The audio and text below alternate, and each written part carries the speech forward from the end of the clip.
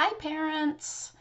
I wanted to let you know that at the beginning of each class, we sing The More You Get Together, together. And it gives uh, the children an opportunity to choose a color that they like between a field of two and um, to follow the directions in the song.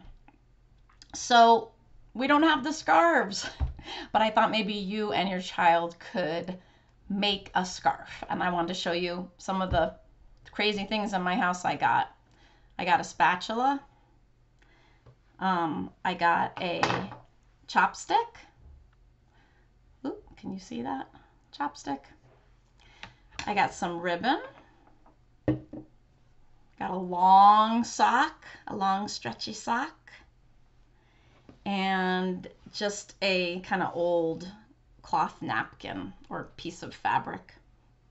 I'm sure you can find something that you can use, maybe a streamer from a birthday uh, party of old or a piece of yarn, something fun. And then you can just attach them together. Um, make two.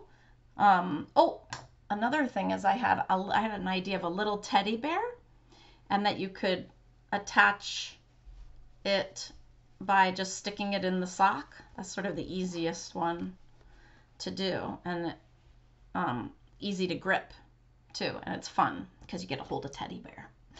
Um, so then you would give your child a choice of two um, colors and the goal is for them to communicate um, using, you know, whatever communication um, that they can to tell you which one that they want to use, and then you can get the other one. Um, sometimes they like to trade in the middle of the song. That's up to your discretion. So it's very fun.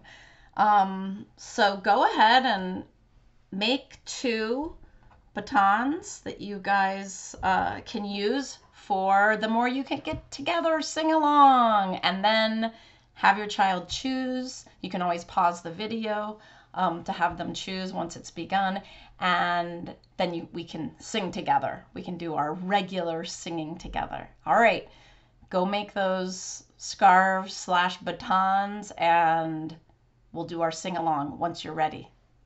See you in a little bit.